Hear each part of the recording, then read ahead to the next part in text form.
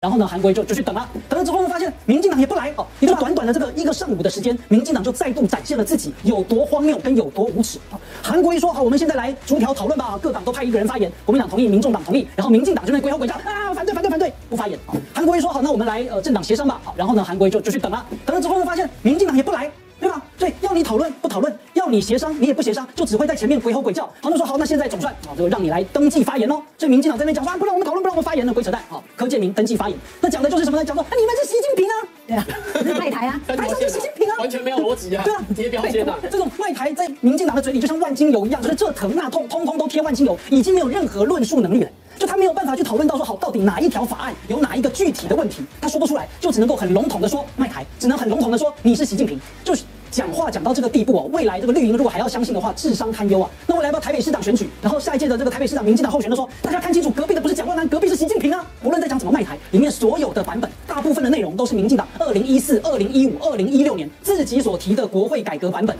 所以如果要卖台的话，那民进党八年前就在卖台了。